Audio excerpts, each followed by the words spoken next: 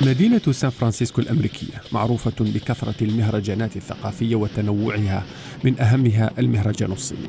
فبعد توقف لمدة سنتين بسبب وباء كورونا يستعد الحي الصيني هنا لعودة هذا المهرجان الشهير الذي يقام بمناسبة رأس السنة الصينية. إنه أمر مثير حقا ويبعث على الدفء وقد طال انتظاره. أعتقد أن الناس متحمسون حقا ولا يمكنهم الانتظار حتى تعود الحياة إلى طبيعتها. لذا نأمل أن يكون هذا الحدث بداية عودة الحياة الطبيعية.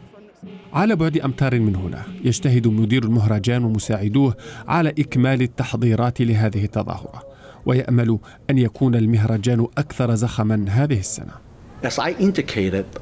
كما قلت فإن عام 2020 هو العام الأخير الذي احتفلت فيه سان فرانسيسكو بالمهرجان.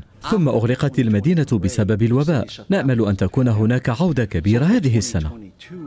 السنة الصينية الجديدة هي واحدة من أكبر الأحداث الثقافية الصينية.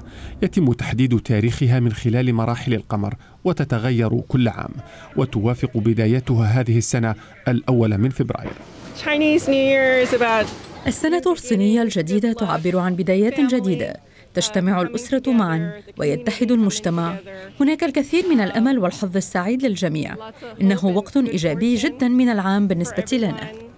عادة ما تبدأ الاحتفالات في مهرجان سان فرانسيسكو بمعرض الزهور لتنطلق بعدها النشاطات الأخرى مثل الفرق الموسيقية والرقص وغيرها وهو ما يبرز مدى تنوع الثقافة الصينية.